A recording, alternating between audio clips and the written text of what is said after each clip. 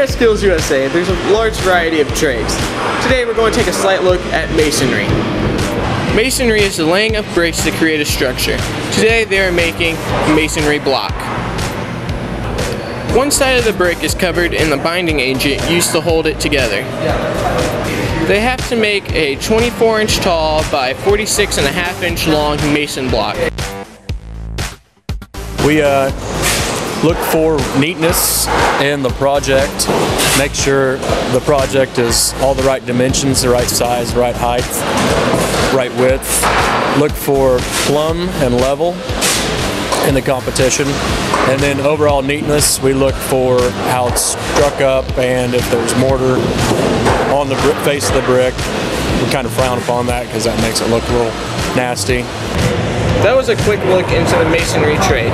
This has been Ivan Nickum at the 50th year state competition.